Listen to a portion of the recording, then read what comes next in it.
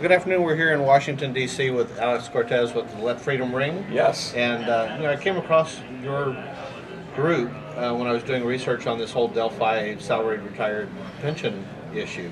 And uh, one of the ads that your, your organization developed to help support these people, that basically they've been ripped off by the Obama administration in, in terms of severing non-union pensions in preference to union pensions, a very discriminatory action. And I really wanted to find out about what you're doing from Let Freedom Ring and why you're supporting Delphi Sure. and what the what the mission is. We're talking about this issue because the Democrats won't. And so at their convention, they mentioned the auto bailout over 150 times and how great it was. But not a single time did they talk about how the, the different victims of the auto bailout, and I think the Delphi non union workers are the greatest victims of it. Um, so they had their pensions terminated by the Obama administration, and they were subjected to pension losses of up to 70%. This is at the very same time the Obama administration used our taxpayer dollars to bail out their union colleagues at Delphi. A lot of them worked side by side, literally doing the same job for years, making around similar incomes. One woke up one morning and had their pensions terminated by Obama. The other woke up one morning and had their pensions bailed out by the president. So these aren't the rich executive fat cats of Delphi. These are the basically engineers and and other skilled technicians, but they were not in the union side. They were in, in the, the non-union salaried side. They're middle class Americans. I mean, they consider themselves so. And I met with them in, in Dayton, Ohio, and and you could see a lot of them spoke on camera in our videos about how they're struggling. I mean, most of them are retirees now, so twenty thousand, more than twenty thousand retirees, mostly based in Ohio. They plan for retirement carefully. They counted on this source of income. And then it's just completely taken away by the president. They're in retirement. They're not a part of the labor force. How are they supposed to make up for Right. that lost income in retirement. I mean, so it's a, a real, true injustice that people aren't talking about, and I think it's our moral obligation to be a voice for them when the Democrats won't be. I spoke to a woman from Dayton, Ohio named Patty, and she told me her story. We put it on Texas GOP Vote and, and what she'd lost and, and what was going on with that. But it, it really is, is a shame. But I found the ads, Alex, that you guys are doing to be very powerful and very effective in really taking that message out to the public.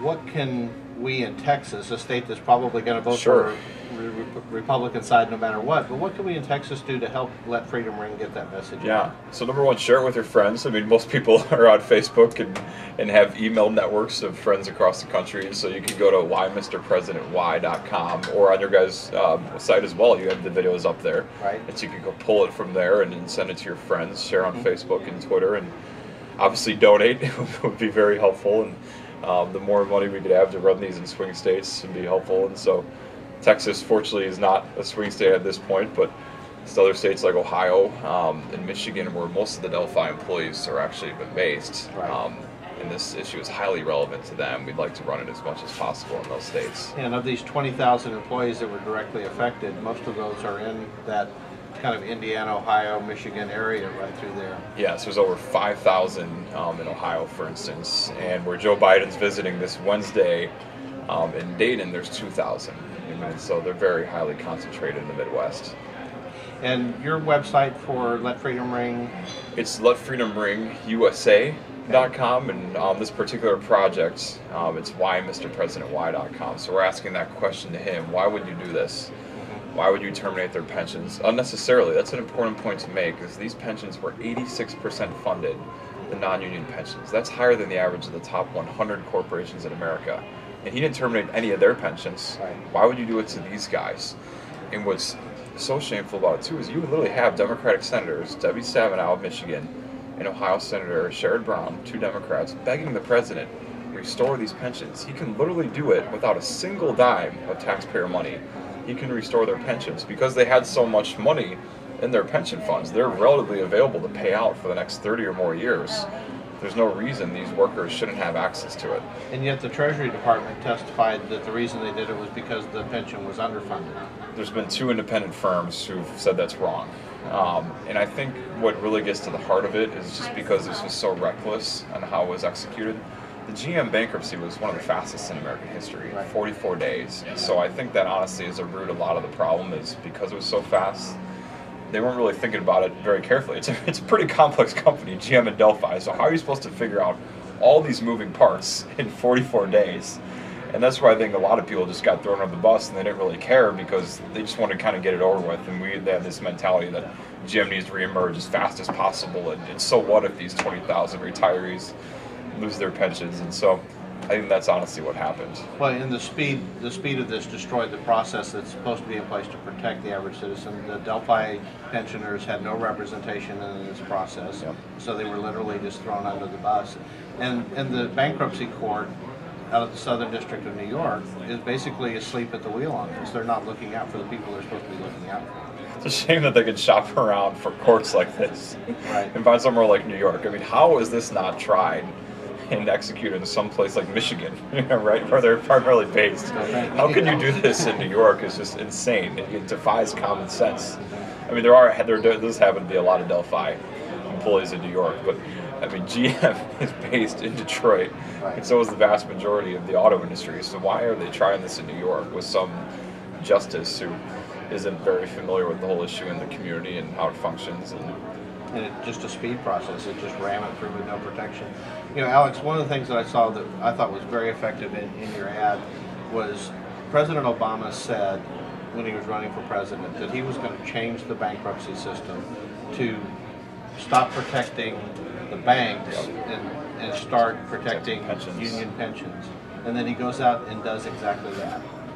And we're all shocked. We're all surprised. Why is he doing that?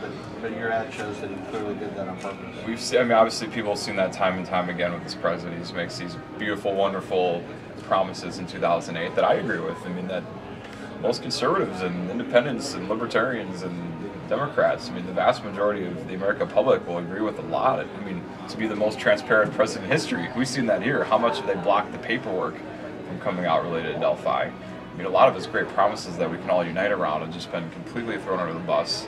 And I agree with them too about pensions. I mean, these people, like I said, these retirees plan their whole life, and to have it taken away while they're in retirement is a moral wrong. I mean, so his promise was right if only his actions lived up to his words. Um, but thankfully, he still has time. I mean, the time to bring upon pressure is now.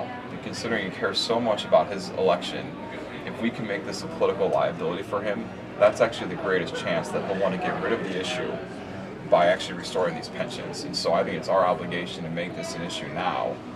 And that has the greatest likelihood of helping out these workers get their pensions back.